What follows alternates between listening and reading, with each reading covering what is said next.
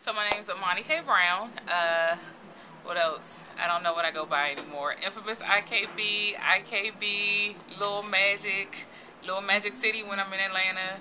Uh, yeah. Um, I'm from DC, um, born and raised, um, no stranger to Atlanta, and yeah. Uh, what kind? What? uh, What do you do? Oh, what do I do? I'm an artist who happens to tattoo. Um, I tattoo full time to pay the bills and drive other things. Um, run uh, artist collective of sorts in DC, Artistic Sole, and um, do all things art because it's fun. It's fun. How long you been doing that? Um, as the art I've been doing since I can remember. Um, I've been raised in it. My mom is an artist. My brother did fashion design, so I had no choice. And I've been tattooing. I'm in my fifth year, so look out for Little Magic. Well, what got you into tattooing? Tattooing. Um, I guess what got me into tattooing um, was the fact that I went and got tattooed. And as I got tattooed and just realized the connection of it being art on skin, I figured I could do that too. So um, as I got tattooed over the years, started asking around, asking questions about how to get into the industry, this, that, and the third, um, just to see what would happen on skin. And there you have it. Chris Mensa at Pins and Needles picked me up, and the rest was history. All right, that's good. Um, so, what do you? Why are you an artist? What is it that inspires you or makes you be an artist? The thing that inspires me to be an artist is to be able to do what I want to do.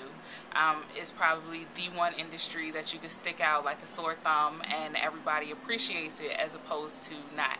So I get to stick out like a sore thumb. I get to be completely true to myself and do it all day, every day, and inspire those around me as I'm being true to myself. What more could you ask for in life? So. What are What are your preferred mediums? Um, my preferred mediums are anything messy. So anything I can put my hands in, paint, charcoal, anything where I can, you know, I can get messy. I can actually feel it, become a part of it, have fun doing it. Um, that mostly I work with um, with acrylic, um, mostly liquid acrylic and uh, and water. So that way, you know, feels like finger painting and water painting, all that good stuff. Um, and then of course, you know, scan art. Okay.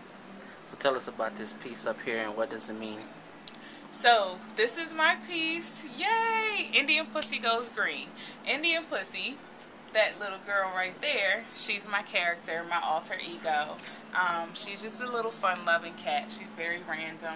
Um, and since the theme was Go Green, and as I'm experimenting with a fashion line and all of this good stuff, and I try to recycle and try, try to practice Buddhist principles, I thought it was fitting to make sure that it was the character that went green and not any other statement.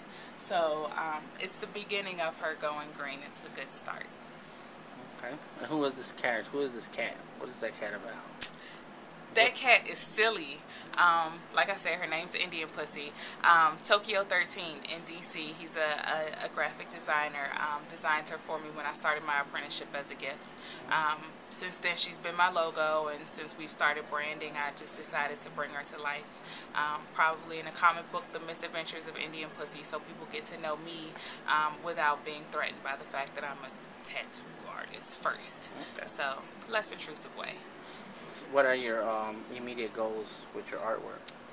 my immediate goals with my artwork um, to show as much as I can, um, to aspire at least, I guess, I want to say, let's see, last year was one person, three people in a year um, to be able to do what they want to do in life. Um, the money will follow, so I don't really have any financial goals outside of just being able to sustain um, and do it well.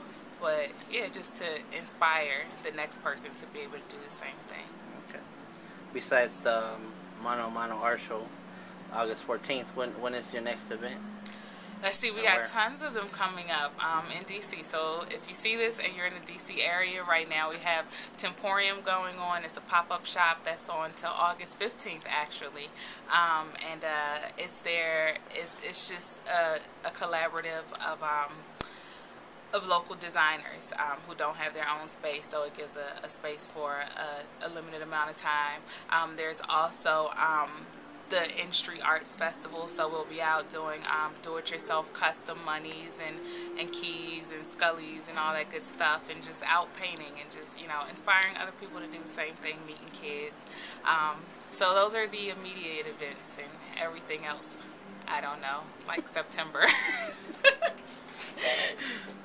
um, people want to reach you. How they do that? If people want to reach me, you can always reach out at www.artisticsole.com.